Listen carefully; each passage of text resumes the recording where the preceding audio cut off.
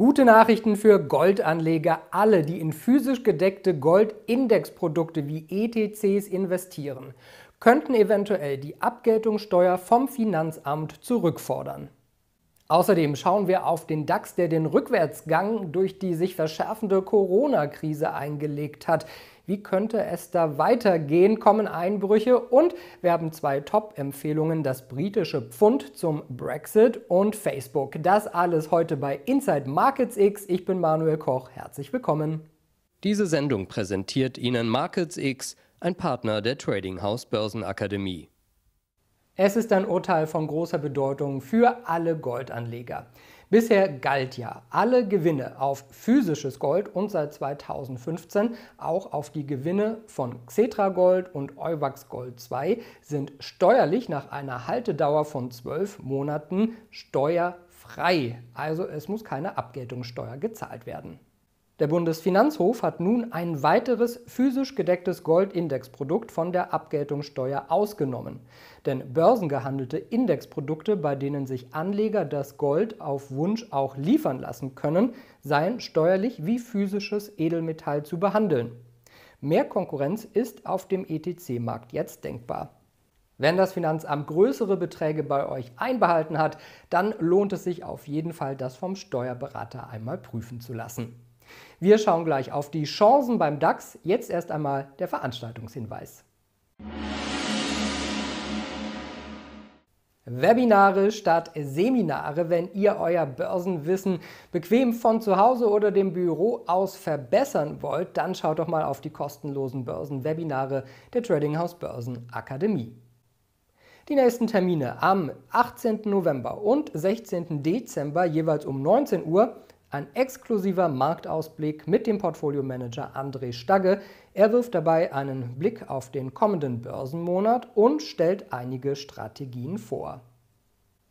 Meldet euch am besten jetzt an und sichert euch euren kostenlosen Platz unter trading-haus.de. 2019 haben die 30 deutschen DAX-Konzerne einen Gewinn von 80 Milliarden Euro verbucht. Für 2020 wird nur noch ein Gewinn von 60 Milliarden Euro erwartet.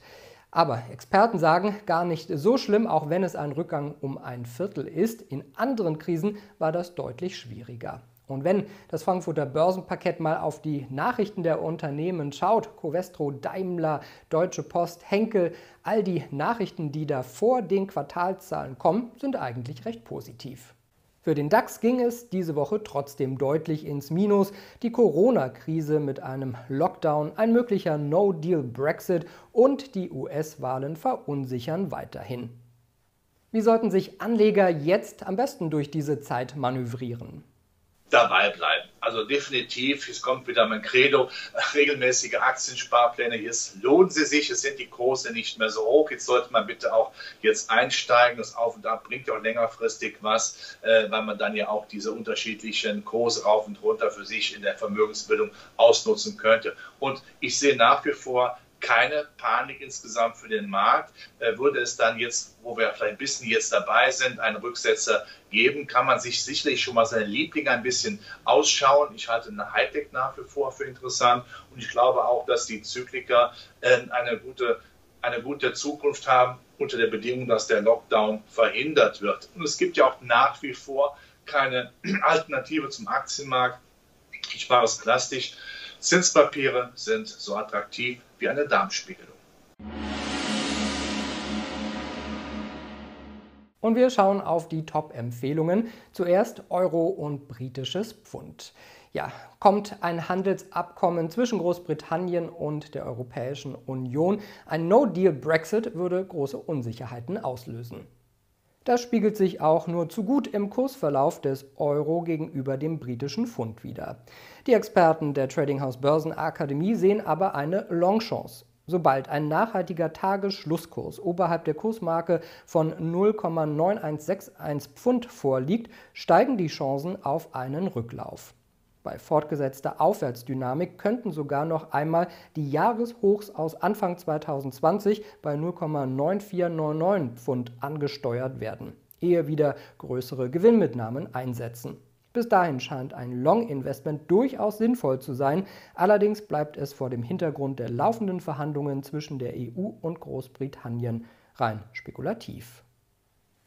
Schaut man auf den Kursverlauf der Facebook-Aktie, kann das den ein oder anderen Anleger schon zum Staunen bringen. Zwischen Mitte März und Ende August hat sich der Wert des Wertpapiers mehr als verdoppelt. Doch allmählich kommen Zweifel an der Rallye-Fortsetzung auf. Deswegen sehen die Analysten hier eine Short-Chance. Für eine regelkonforme Aktivierung müsste erst die dazugehörige Nackenlinie um 256,80 Dollar nachhaltig auf der Unterseite verlassen werden. Nur hierdurch ließe sich anschließend Korrekturpotenzial auf bis zu 218,33 Dollar sehen. Das wäre durchaus ein handelbarer Short-Ansatz, Andernfalls dominiert noch immer der Aufwärtstrend und könnte oberhalb von 280,06 Dollar einen neuerlichen Test der August-Hochs hervorrufen. Wenn euch das Video gefallen hat, dann gebt mir einen Daumen nach oben, kommentiert und postet. Und ansonsten sehen wir uns in der kommenden Woche wieder bei Inside Markets X. Ich bin Manuel Koch. Happy Friday.